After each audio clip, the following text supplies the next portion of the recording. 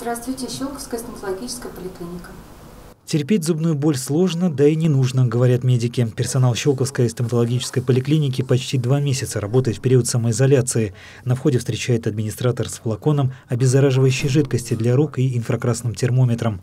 Прежде всего проводится э, обработка рук и термометрия каждого пациента. В стадии обострения возможно подъем температуры, поэтому здесь важно отдифференцировать, какой это подъем температуры. На пациента с высокой температурой персонал собирает анамнез и контактные данные. Его лечение проходит отдельно от общей массы посетителей. Поток идет как-то постепенно, нет большого наплыва, поэтому мы успеваем все. Вот пришел человек, обработали, он пошел. Попасть на прием можно по живой очереди. Запись через интернет и по телефону временно прекращена.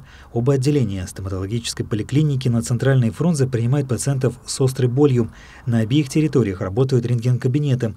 Без детальных снимков сегодня не обходится ни одно лечение и удаление зуба. Мы сейчас работаем по приему по острой боли. То есть на, народу в принципе стало, стало поменьше. Сейчас в основном острая боль идет.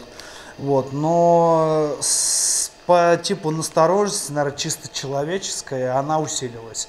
В основном это обострение хронических периодонтитов, периоститы.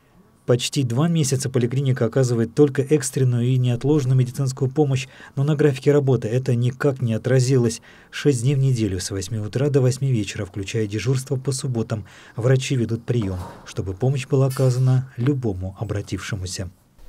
Если вам все-таки понадобились услуги врача-стоматолога или хирурга, вы, конечно же, можете ими воспользоваться, но при этом соблюдайте масочный режим, носите с собой перчатки и будьте здоровы, медики в любом случае окажут вам помощь.